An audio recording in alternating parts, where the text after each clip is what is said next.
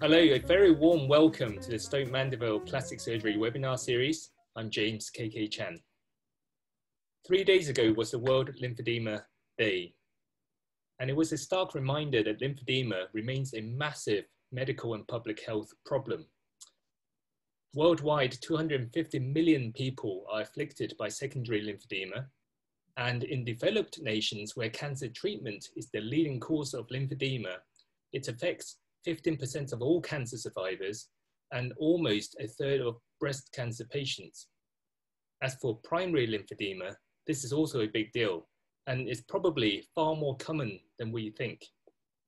The National Institutes of Health in the US estimates that as many as one in 300 live births are affected. So you can imagine how transformative it would be for humanity if we had an intervention that wasn't just effective, but also widely available. Now today, we're extremely privileged and fortunate to have a very special guest with us. He is a plastic reconstructive surgeon who has spent a decade pushing this frontier. He's widely renowned as an innovator and leader in the field of lymphedema surgery. His name is Wei Chen, professor of plastic surgery at the University of Iowa in the United States and co-director of one of the premier lymphedema centers worldwide at the Cleveland Clinic. So Wei, thank you very much for coming to join us today and, and you're in the operating room, I believe.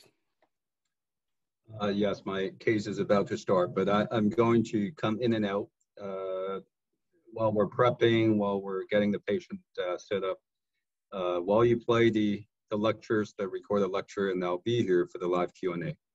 That's great, thank you. So what I'll do now is um, I will share the, um, share the pre-recorded um, video. Hello everyone, how are you doing? Hope you're all doing well out there. Oh. This is Wei Chen from Cleveland. Pardon me. Let me go back.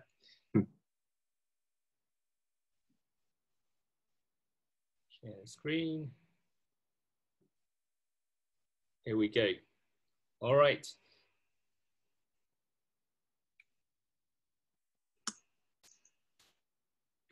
Hello, everyone. How are you doing? Hope you're all doing well out there. This is Wei Chen from Cleveland Clinic. I'm a professor of plastic surgery and I co-direct our lymphedema center here at Cleveland Clinic. Today I will talk to you about nine most common questions asked by microsurgeons about lymphatic surgery. I have no disclosure. These are all the procedures that we currently perform for lymphedema. We have preventive LVA or lymphatic venular anastomosis. This procedure is performed to treat asymptomatic lymphatic injury, preventing the patients from developing symptomatic disease. And then we have therapeutic LVA performed to treat symptomatic lymphedema. And then we have vascularized lymph vessel transfer, which is a derivative of lymph node transfer, the most, much better known uh, procedure. And so we have vascularized lymph vessel transfer, vascularized lymph node transfer, and then, of course, we have the debulking procedures, which is either performed with liposuction or with direct surgical excision, better known as the Charles procedure. So by now, I believe most people are familiar with the concept of the LVA, which basically involves connecting lymph channel to vein. So since there is an obstruction in the lymphatic system, therefore we connect the lymph channels to vein hoping that the venous system will now take over the job of transporting lymph. Uh, and what's being demonstrated here is an example of an end to side anastomosis connecting a 0.3 millimeter vessel to a 0.9 millimeter vein. And it's uh, similar to microsurgery, just a lot smaller. Here you can see the sequence of suture placement is counterclockwise and the three o'clock suture has already been placed. And now I was placing the 12 o'clock suture uh, using a 12 suture, and we are at about 30 times mag. Background, uh, yellow background gives you scale uh, with each square being a millimeter. Now the 12 o'clock suture is done. uh, we proceeded now with the nine o'clock suture. So once the anastomosis is completed, um, well, basically we determine the endpoint of suture. People usually ask, how many stitches do you place? Well, we continue to place sutures until we achieve a leak-proof anastomosis. In the interest of time, we won't watch the entire video. So uh, as you can see, uh, the LVA procedure is minimally invasive. In the therapeutic LVA, we do make more cuts because we try to create more lymphatic drainage to treat a symptomatic disease, whereas comparing to the prophylactic LVA, less incisions were performed, but in terms of how the procedures were performed in, ter- in terms of the anastomotic techniques, therapeutic LVAs and prophylactic LVAs are basically the same. And then we have the lymph vessel transfer. And currently, in addition to Dr. Koshima's first dorsal metatarsal artery lymph vessel transfer, are also the two lymph vessel transfer proposed by us, um, which are basically SCIP-based or TDAP-based. So the principles are the same. Basically, we would harvest superficial to the Scarpa's or superficial fascia in order to preserve all of the lymph nodes which are situated in the deep fat layer. And by doing so, we would harvest only the lymph channels that are present in the superficial fat. And this is a vascularized transfer. So of course we need to transfer along with the tissue, artery and veins, and then transfer them to the recipient site and reestablish the perfusion and venous drainage. And now these lymph channels will start to function at the recipient site. The main advantage of this procedure when compared to the lymph node transfer is the appearance. Now we no longer have a bulge, we just have a flat patch. The scars are unfortunately still unavoidable, but the appearance is of course greatly improved when compared to lymph node transfer. I won't go into lymph node transfer because everybody's familiar with them. Uh, when it comes to lymph node transfer, out of fear for donor site lymphedema, uh, plastic surgeons over time have explored various options, and these are currently all the options that are available for lymph node transfer. You have groin lymph node transfer, submental lateral thoracic, supraclavicular omentum, and jejunal mesenteric. Currently, omentum, at least in the United States, omentum lymph node transfer is the most popular lymph node transfer. My main problem with lymph node transfer is this. This is a comparison of the appearances from lymph node transfer and lymph vessel transfer. You can see which one you would prefer. Uh, although from my experience, lymph node transfer works also incredibly well. It's an excellent, powerful procedure. My issue with it is purely the appearance. Uh, I, I don't like the Rolex effect. Of course, we have the liposuction, and liposuction is the procedure of choice when the lymphedema is already solid predominant, when it's no, no longer a fluid disease. So power, assist, power assisted liposuction is necessary because the lymphedema fat is quite fibrotic, and if you try to use your just your arm to perform the procedure, you would feel quite tired and possibly, uh, after several cases, injure your shoulder or your arm. Uh, and this is particularly the case if you try to treat patient with advanced lymphedema with dense fibrotic tissue. And therefore, power-assisted liposuction is very important. Now, uh, when we perform lymphedema liposuction, we prefer to remove skin excess. Of course, not everybody would need skin removal for those who demonstrate a positive flying squirrel sign, which is defined as ability to traction the skin away from the deep fascia by four centimeters. That is a positive flying squirrel sign. And when the patient demonstrated a positive flying squirrel sign, we recommend skin removal to decrease the risk of complications, the risk of seroma, hematoma, uh, contour irregularity, skin necrosis, so on and so forth.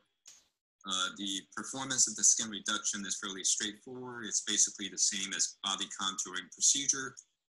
And when the skin is removed, you will see that uh, all of these complications are much, much less. And also you don't need to use a drain because the dead space is greatly decreased. And these are, are fairly representative results. We can take someone looking like that down to someone looking like that. Even someone like this with early elephantiasis, instead of performing the disfiguring Charles procedure, try to offer liposuction and usually you can still get a favorable result. Someone like this, arm is usually much less fibrotic compared to the legs and therefore we can usually get even superior result for the arm when compared to the legs. Someone like this, and we can turn uh, the bulky arm into a skinny arm. Now, the Charles procedure needs no further introduction or explanation. Uh, Charles procedure is a fairly old procedure. Basically, we perform radical excision down to the deep fascia. There's the discussion about whether to also remove the deep fascia or not. Um, personally, I prefer the removal of the fascia. We'll leave it at that for now. If there's time, if people are interested, we can certainly discuss about it further. So putting it together, this is my algorithm going from stage zero disease. We treat with LYMPHA. Stage zero disease is defined as lymphatic injury without symptoms. So a lot of people also don't like the name LYMPHA because they feel that it's really not prophylactic. There's already injury. So Many people prefer the name immediate lymphatic reconstruction. For fluid predominant disease, I treat mostly with LVA. LVA is a lot more powerful than a lot people, a lot of people giving it credit for. And um, I really reserve the transfer procedure only in the late, late fluid predominant disease. And in my practice, I no longer perform lymph node transfer, even though I'm still leaving it leaving it on my algorithm. Um, I treat fluid predominant disease mostly with LVA, and in the most, most advanced injury, I would treat with uh, lymph vessel transfer. When the patient uh, demonstrates a solid predominant disease, that's when I treat with liposuction. Following liposuction, the patient can then go back and receive reconstruction represented by these arrows and of course, Charles procedure for the fulminant disease. Now, uh, well, what I have circled here represents the hybrid treatment. The hybrid treatment does it as debulking first and then reconstruction later. There's some controversy about the sequence. I understand some surgeons prefer reconstruction first and then debulking later. Now, we will start to go into the questions. I've summarized nine questions that I get asked most frequently when I, based on uh, my experience in giving these lectures about lymphedema surgery. Question one, does lymphedema surgery work? It absolutely does. That is the short answer. So, uh, of course, we can go in and discuss about all the data and evidence. The short answer is it does work. So, when I say this, usually I will have um, people asking me that they've tried LVA or lymph node transfer on some patient and it didn't work, or some patient would come to me and said they have had LVA or liposuction, some procedure done, lymphedema surgery done and didn't work. The analogy that I usually give them is uh, if you, this is Jiro. Uh, I think most people know about uh, Master Jiro Ono, uh, who's nicknamed the god of sushi. If you ate sushi made by Jiro-san, of course, you're going to think that sushi is the best tasting food in the world. Well, wait until you try sushi made by me. You're going to have a very different conclusion. So, who is right? Uh, well, that, I think sushi can be incredibly delicious or it can be gross depending on who made it. Uh, I, I, think when it comes to surgery, it's the same thing. Uh, I think as a surgeon, in general, we should have the humility to, first of all, whenever we try a procedure and it didn't work out the way we want, instead of concluding that the surgery didn't work, first of all, ask ourselves, is it ourselves or is it the procedure? So uh, I've been doing lymphedema surgery for 10 years now, and um, uh, recently we've been doing our four-year review, and this is what we have done. Uh, I'm going to quickly share some of the data with you. So altogether, we have 591 cases. They're mostly, um, for the reconstructive procedure, mostly LVA. We also did a good amount of liposuction. Lymph vessel transfer represented the smallest uh, uh, group. And we did not perform any lymph node transfer in the past four years. And how do we assess our surgical outcomes? We assess, uh, of course, the size of the limbs, we assess their function, their quality of life, bioimpedance, which measures the amount of fluid in the arm or leg. And the most important tracking modality for us is the indocyanine green lymphography, which produce uh, results that are reproducible and longitudinally uh, comparable. And very importantly, patients' subjective feeling uh, short-term patient subjective report is not reliable because they are biased. The long-term, they actually are quite reliable, and we found that they correlate with ICG lymphography quite well. And using these outcome measures, the, these are basically our outcomes. So as you can see, they're all quite favorable uh, in terms of patient subjective improvement, decrease in lymph volumes, and improvement seen on ICG, decrease in infection, improvement in quality of life, I'm going to direct your attention to the last two. First of all, no symptoms and patient has stopped using compression. Essentially, they have such thorough reversal of their pathology that they no longer display any lymphedema symptoms and they have stopped wearing compression garment. So this is achievable, even though it's only achievable in small percentage of our patient, only 18%. And last but not the least, this is actually very important that all of our patient, every single one of them, all, uh, let's see how many of them, uh, 591 of them were happy and feeling now hopeful about the future of their lymphedema management. This is what we feel to be very important, the ability to bring hope and happiness to a patient. Question two, um, when to do which procedure. So I have already somewhat gone over this, but I will go over our algorithm in somewhat greater details now. Uh, initially, we need to confirm the diagnosis. Uh, most frequently, lymphedema patients came with a clinical diagnosis. They haven't had any imaging studies or any confirmatory study to confirm the diagnosis. So it is incredibly important that we confirm the diagnosis before we operate on the patient for obvious reason. It's not uncommon that I saw patients who were either uh, uh, diagnosed with lymphedema when they didn't have lymphedema, or they actually uh, had lymphedema but were diagnosed with something else. Basically, they had false negatives and false positives.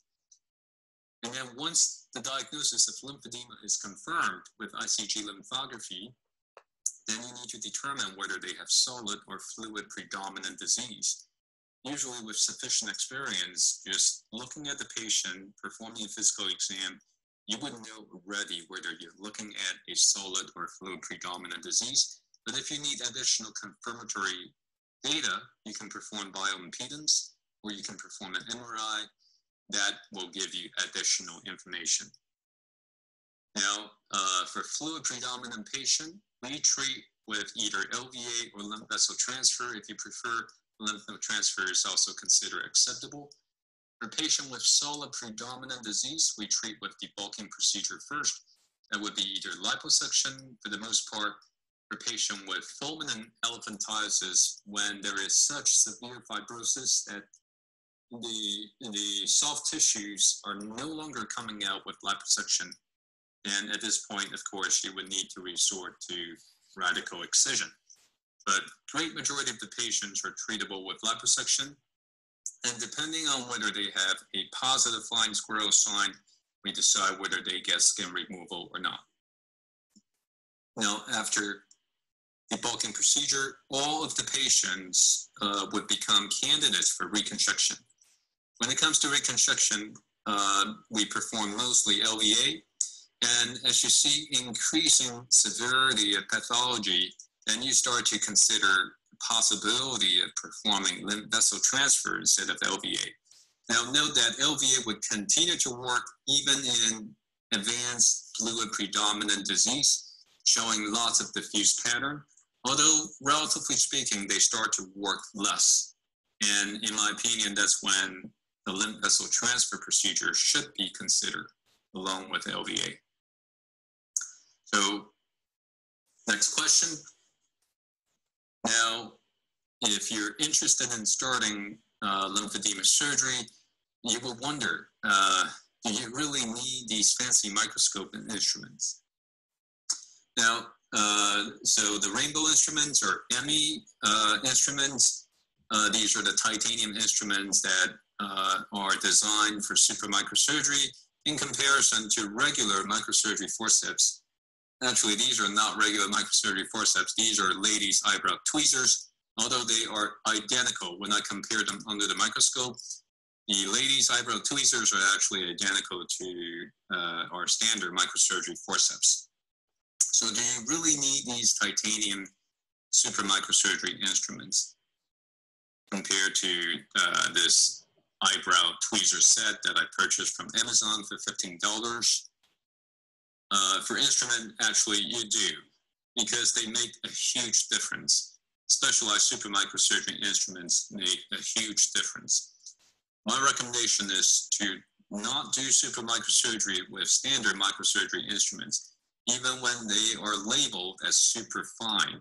The standard microsurgery instruments, forceps, for example, have tips that measure 0.3 millimeters Many of the so-called superfine forceps have tips that measure 0.1 millimeters. Now, when you compare to the dedicated supramicrosurgery forceps, their tips are 0.05 millimeters or 50 micron. So this is uh, substantially smaller compared to the standard microsurgery forceps or 0.3 millimeters. Most of the LVAs would fall into the range of 0.2 to 0.6 millimeters. And you can imagine how difficult it would be if you try to handle a 0.2, 0.2 millimeter vessels with a forceps, uh, forceps with tips measuring 0.3 millimeters. So if you've been doing super microsurgery with microsurgery instruments, you would realize you all of a sudden become so much better. And I'm speaking from personal experience because I didn't start out using uh, super microsurgery instruments. So start out the right way, just get the proper instruments. Now, when it comes to the microscope, uh, it is somewhat of a different story. This is what I used to use. Uh, now, I, I, shouldn't name names. Uh, I think most of you recognize the microscope. This is a very powerful microscope, and it's what I used to use. And now I have moved up to even better microscope. Again, uh, no names here, but I, I, think you know what scope this is. Uh, this is again excellent scope, excellent optics. Uh, you can see very well uh, uh, with this microscope. But the thing is, when I travel, and also uh, Cleveland Clinic is quite big, we have multiple hospitals, including many regional centers. When I go to regional centers, and also when I travel abroad to do live surgery, this is what I frequently end up with. Uh, so this is also fine. Uh, actually, contrary to, to the popular saying, uh, you don't need a fancy microscope to do super microsurgery. So my recommendation on the microscope is, uh, well, first of all, the regular surgical, uh, the regular microsurgery microscopes mostly have magnifications that are uh, lower than 20 times, most frequently 17 to, to 18 times. Um, for supermicro LVA, particularly if you're starting out, it is best to have more power. And my recommendation would be about 30 times, just so you can see everything clearly. And if you're making a decision about microscope purchase, remember that resolution is more important than magnification. And once you become experienced, you will find that your requirement for magnification quickly drops. And actually, I now feel more comfortable with lower magnification just because I, I get a broader field. And frequently, uh, 18 to 19 times uh, magnification is sufficient. Question four, how do I train for super microsurgery? Well, First of all, don't train on the patients. When you train on the patients, first of all, patients get hurt. Uh, they sustain a bad outcome.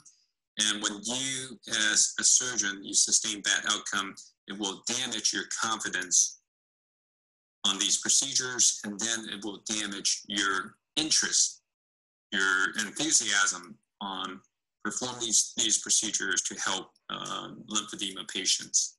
So don't train on the patients. Thank you.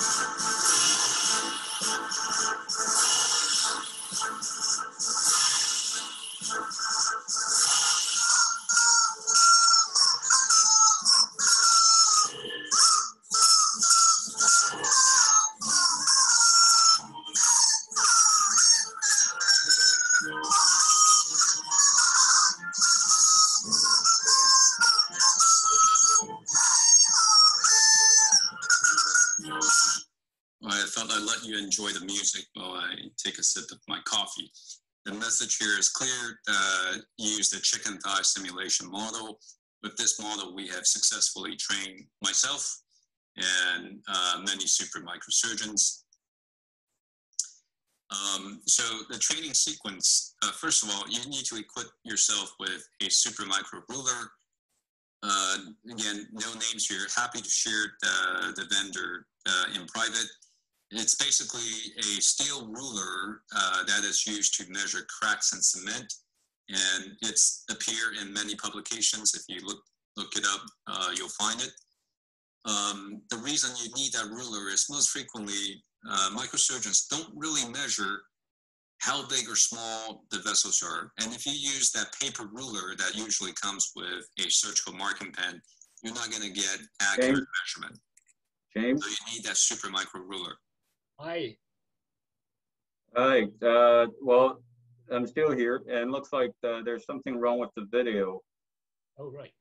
You know what? I can present live. Uh, yeah, I'm only hearing audio. And let's see. So apologies to the audience. Uh, if you allow me to share screen, I can present live. What, what was the, um, what, was it hung up or something? No, no, the video is not advancing. The video is frozen. It's just oh, okay. we're only getting audio. Right. Okay. So um, you should be able to share screen now. I think. Okay. All right. Well, my apologies to everybody. Give me a few seconds to pull up the talk. And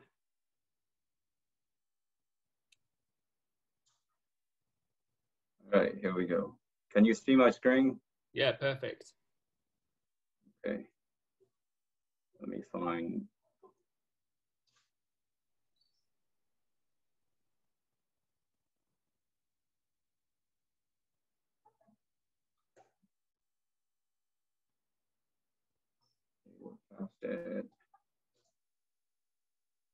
All right, I'll need to talk a little bit faster to pick up the lost time. I think we lost we lost a tier. Okay. My Thanks take on the microscope. All right. Uh, so, as I said, you don't need a fancy microscope. Although starting out, if you can, uh, if you can um, get a nicer microscope, if you can get between uh, high 20s to low 30s, that would be the best for people who are starting out because you would feel more comfortable um, you will feel more comfortable seeing the lumens. Um, well, hopefully I don't get into trouble. Okay, there it is. Um, so resolution, as I said, is more important than magnification. And once you become experienced, you'll find that you would appreciate being able to see more and therefore a lower mag giving you a larger field is actually preferred. So most of the standard microsurgery microscope would give you uh, high teens from 15 to 17 or so. That's the most common. So even the regular microscope, once you're experienced, uh, would be sufficient. Next question is, how do I train for super microsurgery? And my main tip is to don't train on patients because training on patient would give you bad results. And that will in terms discourage you and discourage people from trying lymphatic surgery from continuing to offer these procedures. So how do we train? Well, we train outside of the operating room using simulation models. And uh, well, I guess I won't play the rubber chicken Star Wars. Uh, that's something that I'm working on recently. How to play the rubber chicken is. Uh,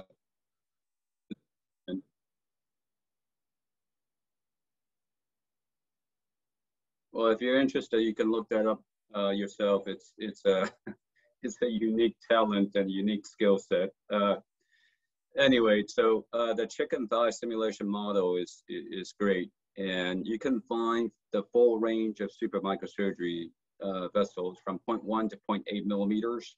So you can tailor the training to your own level, and uh, it's the best simulation model that we've used. Uh, so in terms of the training sequence, well, first of all, you need to get a ruler, a super micro ruler. And so far, the most commonly used is the, uh, well, well, I'll just let you know the Xinhua uh, crack scale. So this is actually not a surgical instrument. It's a construction instrument used to measure cracks in cement.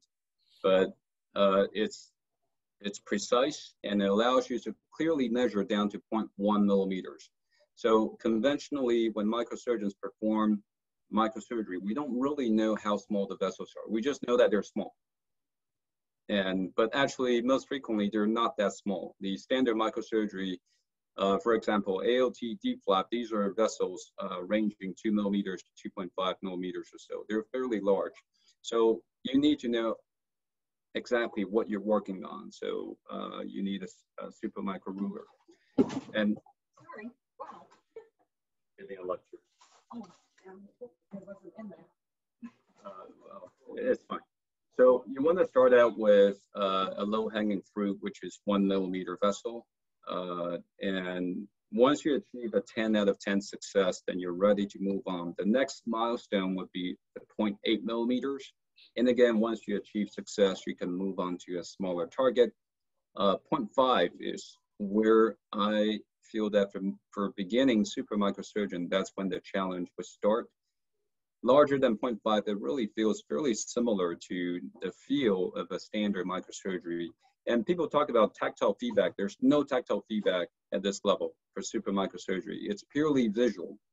So no tactile feedback and um, uh, you need to get used to that environment. So that's why uh, when people say super microsurgery or just smaller microsurgery, I don't quite agree because the skill sets are quite different.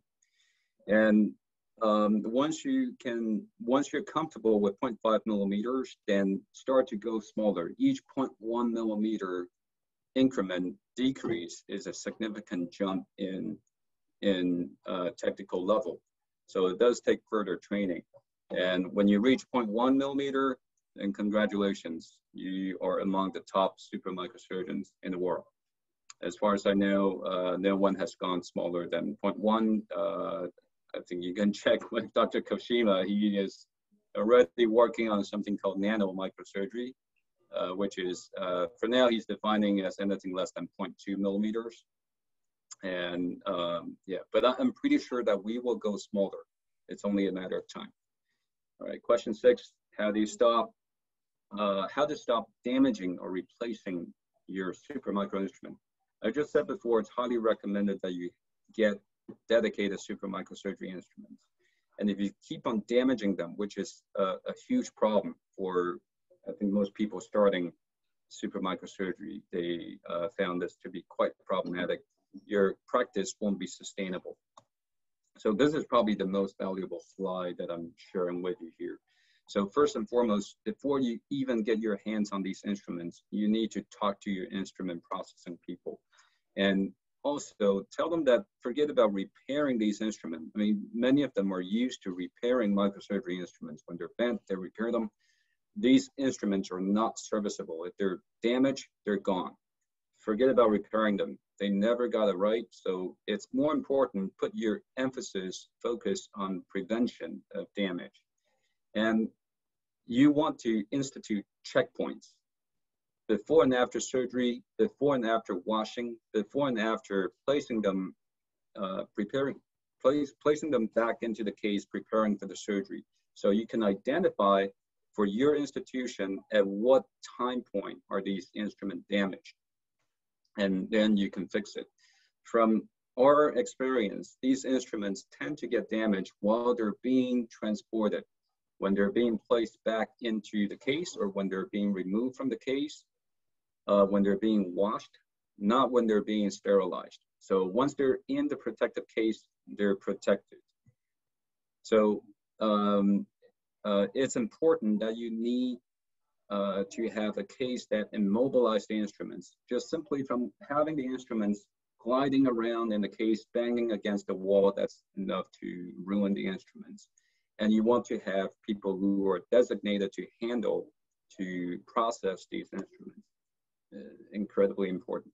So this is the customized um, case that we came up for these instruments. And spending the money to build a case like this would save you so much money um, the cost of one instrument will build so many of these cases. So definitely invest to build a case like this that immobilize all, every single piece of the instruments. All right, question seven. I'm gonna try to speed up a bit. Uh, how to start lymphedema surgery service. This is pretty easy. I, I think if you talk to the hospital leadership, the administration, they can easily see that this is going to be a signature or halo program for the institution, for the hospital it would be helpful to the hospital's reputation and it would also boost related services. For example, all the oncologic services will get a boost as a result of your presence uh, by having a lymphedema reconstruction service. Nowadays, patients are, are very savvy. They would look you up, look up your hospital, look up your service before they even come in. And we know that patient will choose you as a result of your ability to perform uh, advanced reconstruction of the breast or of lymphedema. And of course, that translates into increased revenue. So it's pretty easy to uh, get the hospital leadership and administration to, to sign on uh, with this project. And once you get your uh, uh, internal team in place, you want to get the word out. And that's best done by giving talks. Well, not in a talk like this because uh, we're all plastic surgeons, microsurgeons, and you won't be referring patients in England to uh, just like patients coming to me, I will go ahead and help them. I most likely uh, won't refer my patient to you. Happy to refer uh, patients to you if patient from England uh, uh, reach out to us. Uh, but in general, to get the word out, you want to talk to people who are non-microsurgeons. Talk to your allied medical professionals. Talk to other surgeons, oncologic surgeons, therapists, vascular surgeons. They see a lot of these patients, but they are powerless to help them. They don't know what to do. So uh, this would be a win-win situation for you and for them. Uh, this would be an example of how a uh, large patient advocacy group partner with us. And uh, this post was just made by this group a few days ago that uh, so the group has, um, I believe, more than 6,000 members. So something like this is incredibly helpful in terms of promoting your service. Question eight, how do you get paid? Another very important question. So the two sources of how you get paid, one is insurance, the other is patient with self-pay. I know your system is somewhat different. I'll share our experience with um, both insurance and self-pay. So when it comes to insurance coverage, it is quite challenging. And as a result of the reasons listed here. Uh, first of all, there are no standardized procedure codes. And also they're frequently being labeled by insurance carriers as investigational. Well, it's investigational maybe in 20th century. We're in 21st century now. So uh, that's really not an appropriate label. But what gives them the chance to say that? Well, because if you look at the literature, the outcomes are all over the place. Why are the outcomes all over the place? I've already given you the analogy of Jiro Sushi and my Sushi. Uh, if you taste both, you can easily tell the difference. And so I think we lymphedema surgeons, microsurgeons, super microsurgeons need to come to a consensus. We need to have a uniform voice. If we continue to to um, have comments all over the place, that gives insurance carriers the opportunity to say these are investigational, these procedures don't work, and therefore coverage will be difficult. And when coverage is difficult, surgeons won't want to uh, devote their practice to look to helping lymphedema patients.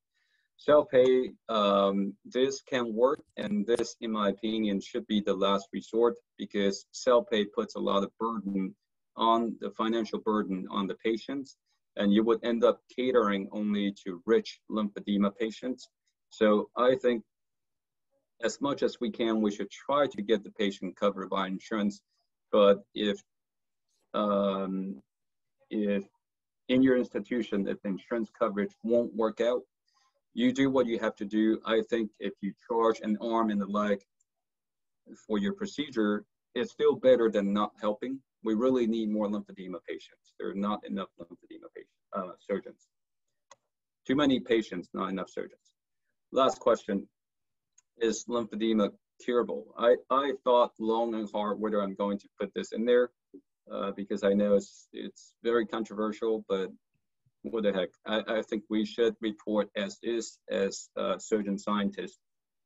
So lymphedema is curable, as I have reported uh, earlier in our four-year series. We are achieving 18% uh, uh, cure rate. Uh, actually, I observed my first case of cure back in 2012 with a lymph node transfer.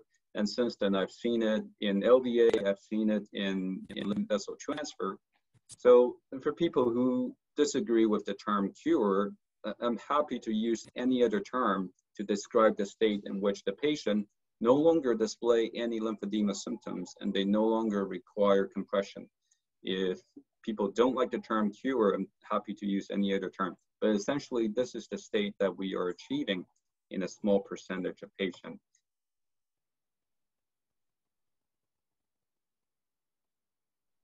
in the interest of time, I won't play this testimonial. This is uh, one of the cases of cure. This patient uh, had LVA and she was one year out. She no longer displayed any symptoms and she stopped wearing compression garment. And she also looked excellent on her ICG lymphography. As you can see, uh, this is pre-op and this is her at two-year post-op. She gained some weight, and but you can see the near complete reversal. There's still some residual stardust, but bulk of the stardust pattern have resolved. That's all I have, and I want to leave time for questions. That's great. Thank you so much, um, Wei. A really succinct, um, you know, summary of the cutting edge concepts of lymphedema. Do you mind just um, unsharing your screen for a second so people can see your face clearer? and um, we have a number of questions that have come through, um, but I wanted to start off um, by asking you um, about this which is you've done something which is um, extremely courageous. You've dedicated much of your career to something that, you know, as you say, some insurance companies and healthcare systems term investigational. So can you tell us a bit how uh, a bit about how you got into the field of lymphedema and why you were so convinced at the outset that it was a winner? I, I, I don't know how many of you uh, are martial artists. Uh, so I'm a martial artist, uh, well, former. uh, so I started training in martial art as a kid. And in martial art, uh, when you first started, your goal was probably to be as good as your senior and uh, become a black belt. But once you become a black belt, you start to, you're a first dan and you, your next goal is you want to be a second dan, third dan, and you want to be like your master and so on and so forth. It's a never ending quest of self betterment. And I think as a surgeon, we, we're on that quest. Uh, when we were a medical student, we look up to our teachers, our mentors, and then um, you keep on pursuing excellence. So I think for, for me, uh, microsurgery was what what fascinated me as a medical student, and I found out in order to become a microsurgeon, you need to be a plastic surgeon first. So then I picked plastic surgery, and um, then I chose uh, to do my microsurgery training, which uh, was one of the best decisions I made. Um, and but then uh, I realized there is something called super microsurgery that goes even smaller. So then I, I have to I have to learn it. Uh, so I mean, it really started uh, when I started offering lymphedema surgery. As I said initially, I only offered lymph node transfer, and I always told the patient there is another procedure called LVA, but I was taught that it it doesn't work. You should get lymph node transfer it never sat right with me. I, I feel that if I were going to say something like that, I need to be not only be able to perform both procedures, I need to be good with both procedures. Then I can present to my patient uh, with a more balanced view. So that, that was what got me started. And then once I got trained in lymphatic surgery, I realized I was one of the few uh, in US and patients started coming to me. So it, it, partially it's, it just kind of happened. It wasn't uh, by design or plan. Thank you for that. So your, the center, the Cleveland Clinic is clearly very well established. It's got a large throughput of cases. You showed us almost 604 years. Can you just give us an idea of the kind of breakdown of um, cases what were the causes of lymphedema and um, and how many of these referrals do you actually operate on? What are your inclusion and exclusion criteria?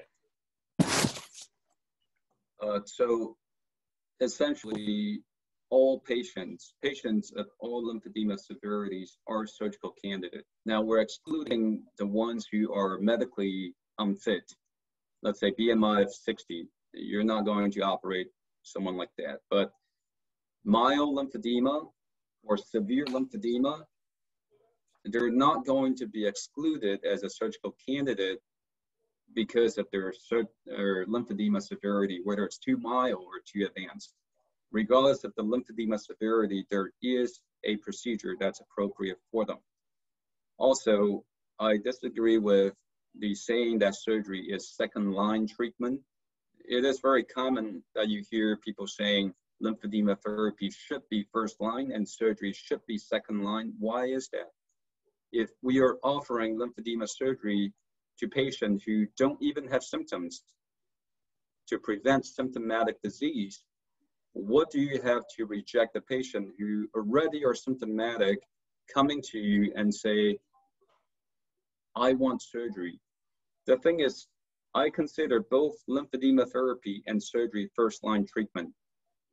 I think lymphedema therapy is certainly very important. There, it's just different.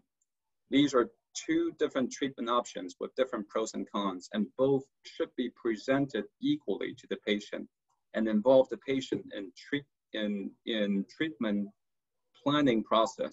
Someone who is 70 year old with uh, a stage two lymphedema may be treated very differently than a two year old, an infant with an entire lifespan ahead of him or her with lots of time for the disease to progress. So uh, yeah, that's that's my take. Of course, there are different opinions out there. And in terms of the breakdown of you know which body parts or what the primary pathology is, can you tell us a bit about that?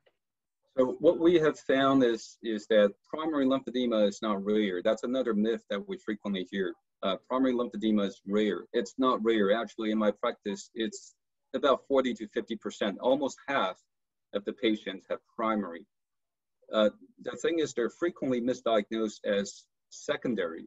For example, you hear a patient coming to you saying, I was bitten by mosquito, then I developed lymphedema.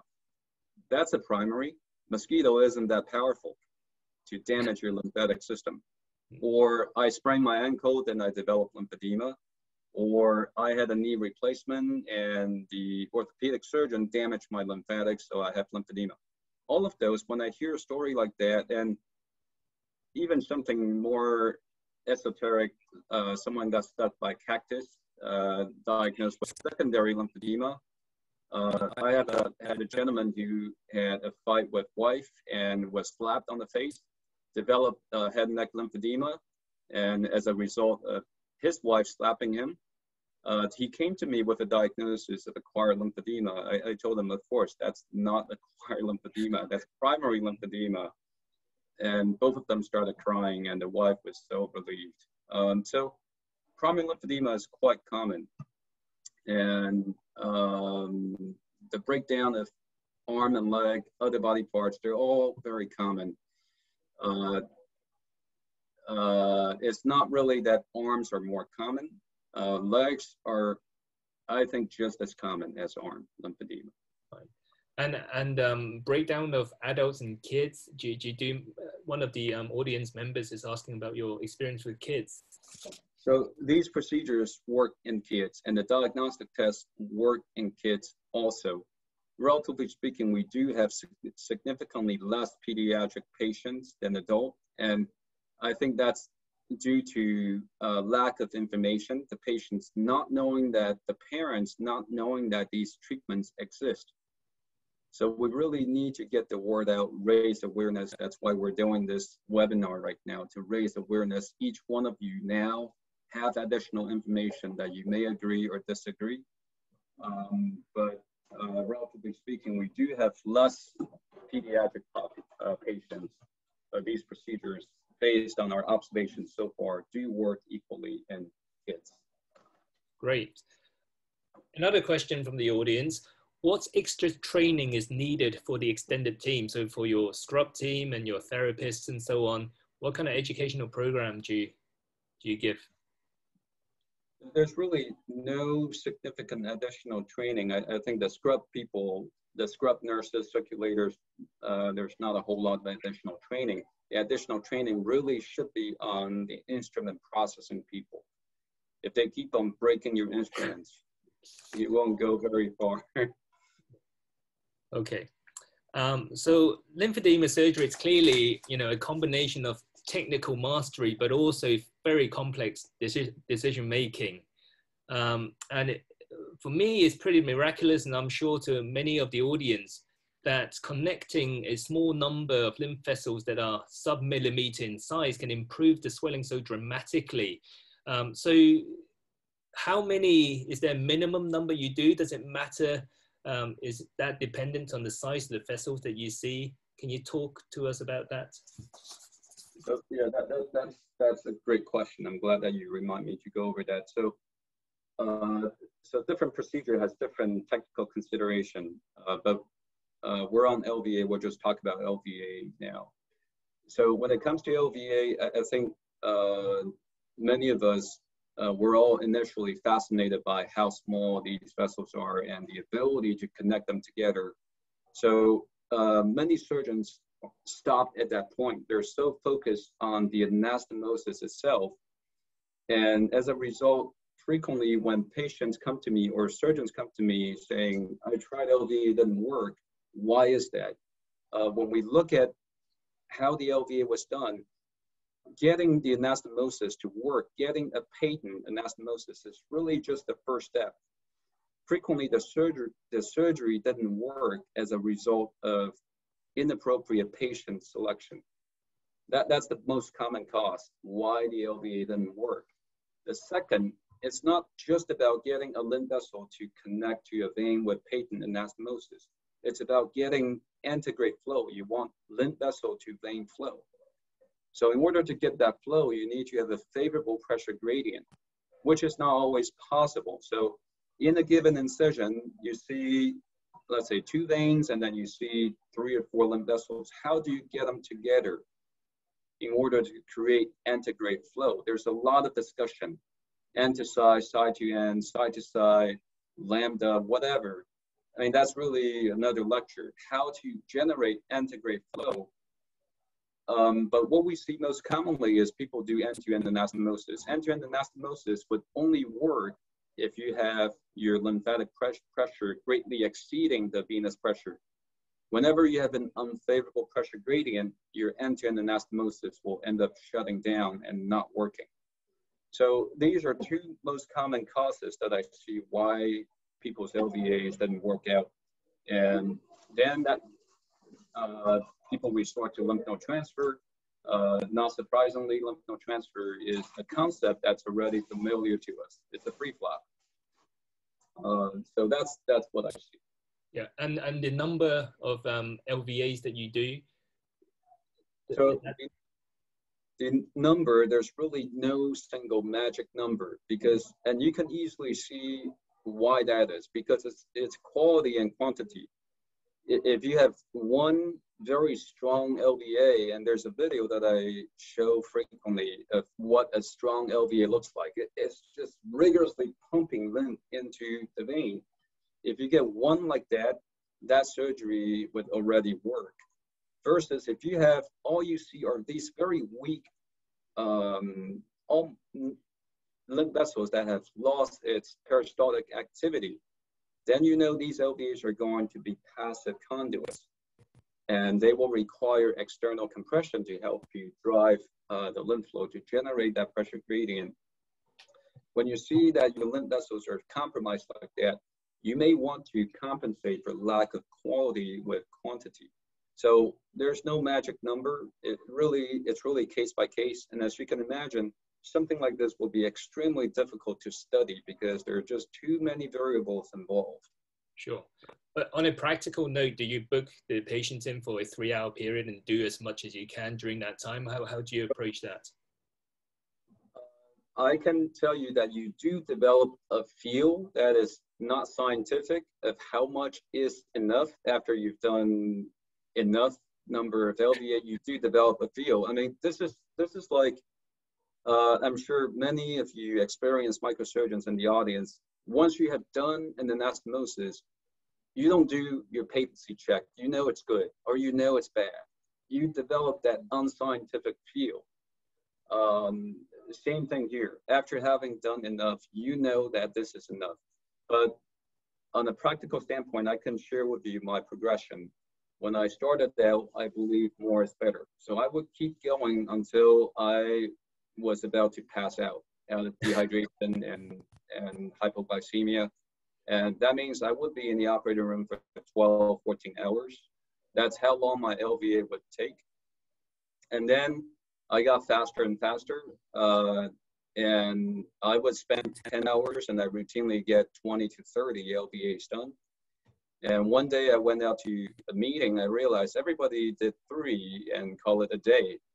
I was like, whoa, I can be done in, in, in one hour or two hours.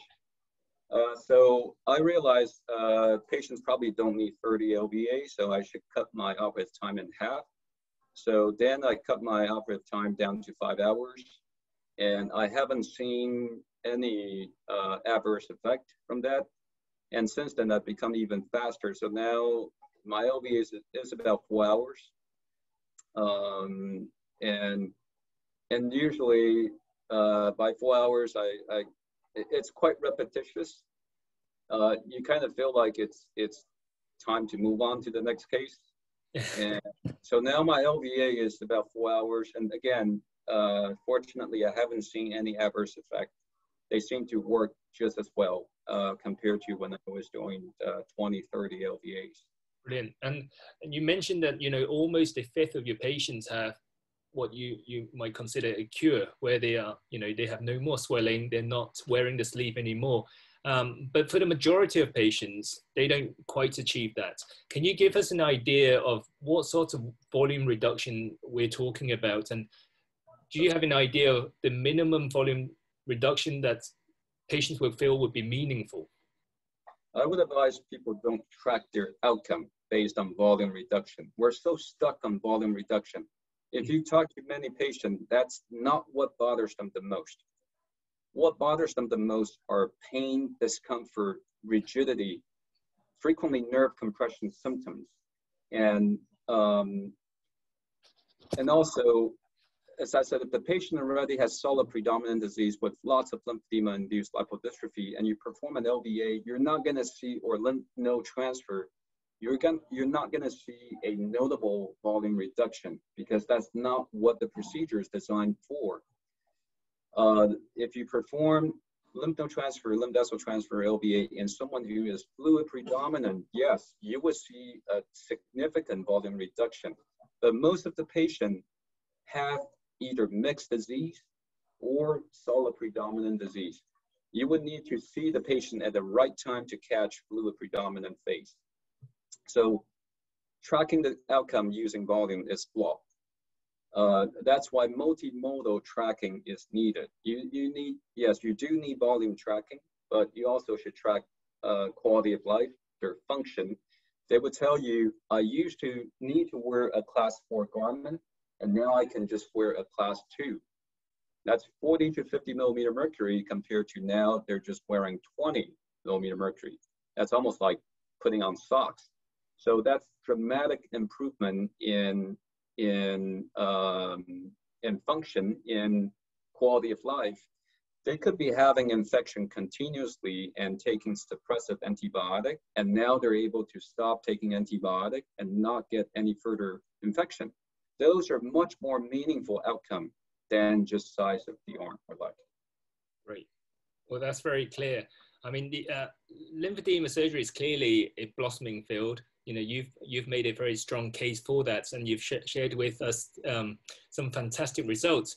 But as you mentioned, some people still feel is investigational, and you can understand. You know, in some countries, many countries like the UK, um, where we have a public healthcare system, and insurance companies are going to be understandably slightly hesitant to commit billions of pounds or dollars to this kind of surgery where you know the evidence base uh, for a blossoming field like this is obviously going to be consisting largely of retrospective non-comparator um, comparison um, um, studies um, and observational studies with short outcomes do you think now there are more lymphedema surgeons around the field is you know, is, is ripe for a randomized control study to answer this question once and for all?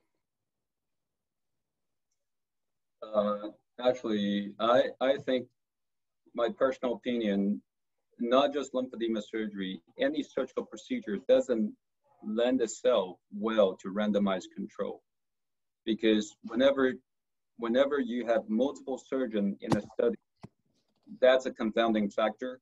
Um, the same procedure in the hands of different surgeons are not the same procedure. Even something as straightforward as, say, a breast augmentation. There are just so many steps, so many technical details that we do it differently.